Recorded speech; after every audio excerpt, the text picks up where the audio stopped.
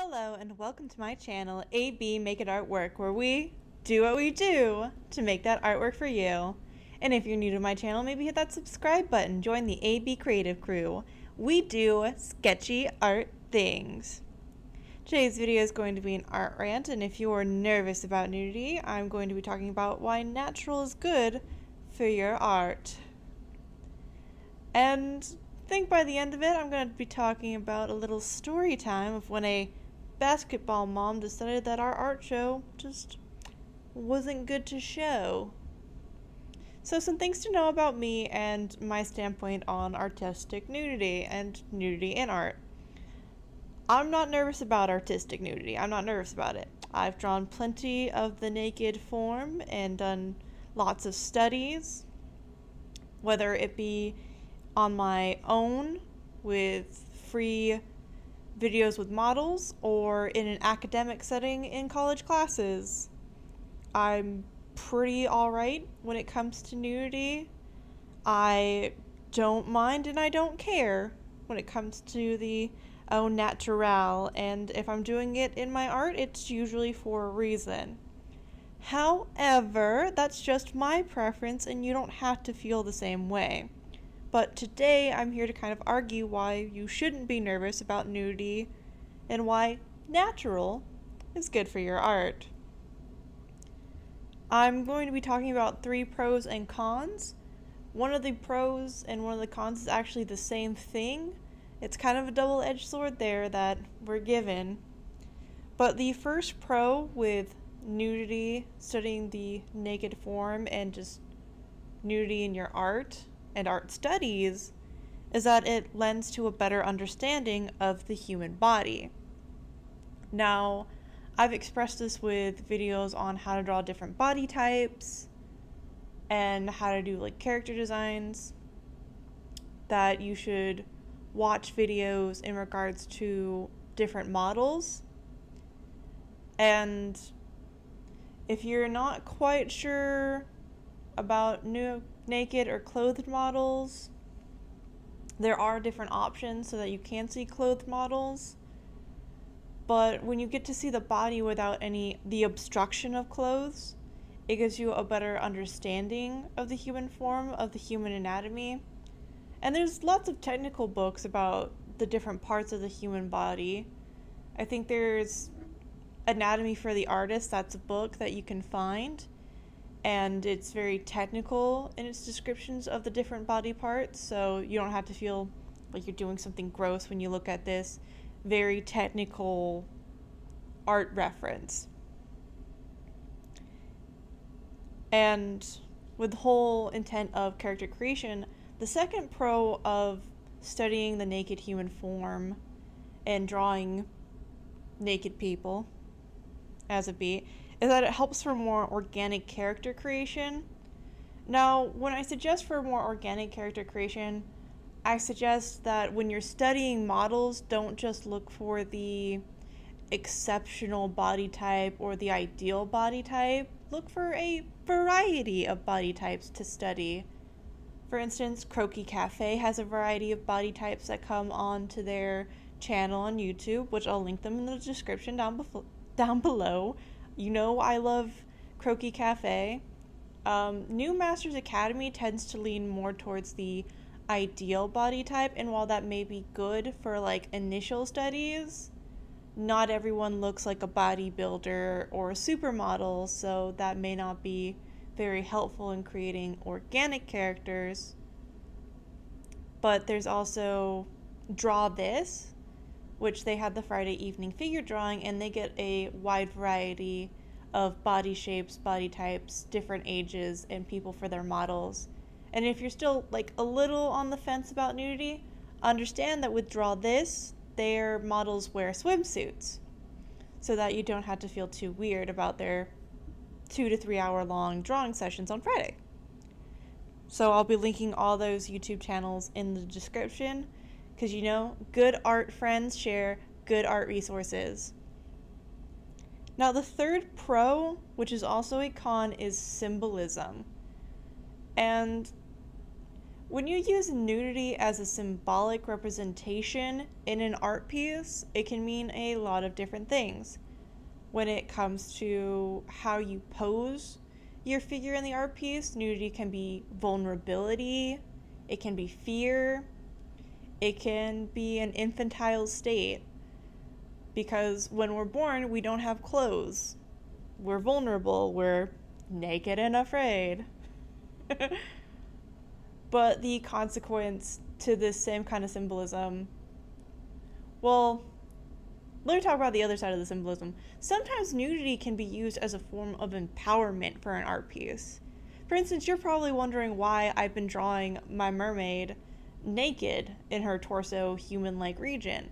And for my piece, I wanted this mermaid to feel more like a siren goddess, that she was totally in her element, knowing that she does appear visually super attractive.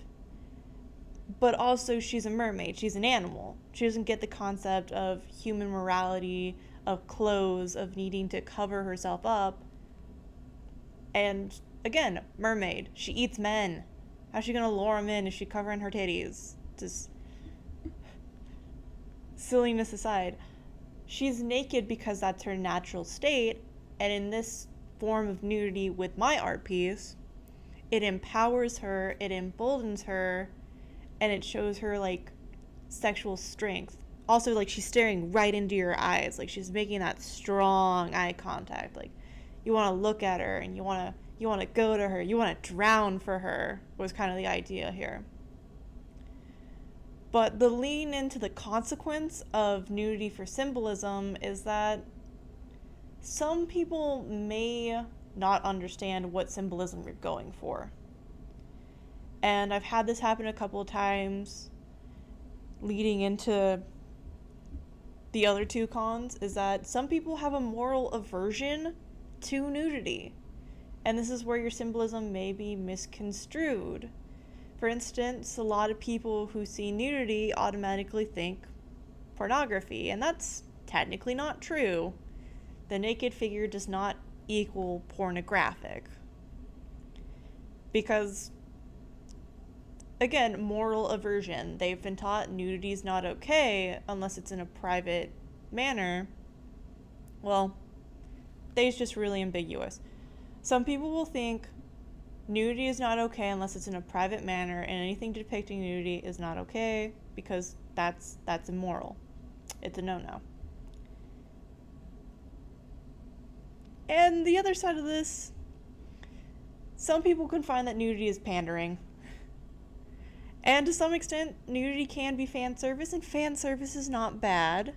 Some people make their money real good when they do fan service art and that is their prerogative. But some people will see it, again, make the association that nudity equals art, although, well, no, that nudity equals pornography, and that is not the case. And um, this leans into the story that I'm going to share with you guys. So, once upon a time, when I was a sweet baboo with some friends in IB art class. IB stands for Interbaccalaureate. This is the AP art class of our school. This was my junior year and the first year we were doing our art show. So all year we've been making these college level academic art pieces where we put several weeks into research and creating it. And if we're putting nudity in our art piece, it's tasteful and it's got a reason for being it's got a reason for being naked. Like it's there for a reason, it's not just there for just because. And I guess the basketball moms were having a spaghetti dinner when one of the little ones came up to the art show. This end this is close to the end of the high school year. And little kid, mom's not with him, runs through the art show, looks through the art show, runs back down to mommy, says, Mommy, there's naked people upstairs. And the mother got outraged.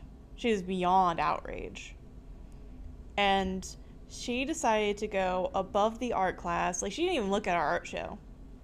And decided that, no, this is canceled. I'm not having pornography in our good Christian schools. And So she went above our art class, she went above the principal, she went to the school board and said, This school has pornography in its show, it needs to be taken down. And next thing we know, we're getting a notice that our art show needs to be taken down. It's been censored. And we started protesting. Because this wasn't fair to all of us artists who had been working all year, working on these projects for months at a time, just to be told that we can no longer have our art show. And like we got in the news about our protest. We were like protesting about first two classes of the day. And like all the other students had seen our work, they knew what our work was about and they knew what we were about, and it was just really annoying, really upsetting. And eventually we get told what happened and we had to take it down not permanently, but until the art show is officially to be reviewed by art colleagues and shown to the public. And this gave us some great advertising for the show, and people didn't understand why we were being told to take it down because they realized that it wasn't pornography, it was just naked human forms in art. And if you go to a museum, plenty of naked statues, no one's going to throw a tizzy and tell you get rid of Michelangelo. Get rid of all these Grecian statues. So that was an extreme case of moral aversion towards nudity, but luckily we got our show. Next year we actually added more nudity to spite the whole incident, I guess. is a great way to say. And I know that one of my subscribers is actually one of my friends from the art class, so hello, potato art friend. Hope you're having a great day. Anyways, that's all for today. I hope you are having a wonderfully creative day wherever you are, and naked or not, make sure to do what you do to make that artwork for you. Lots of love. Bye.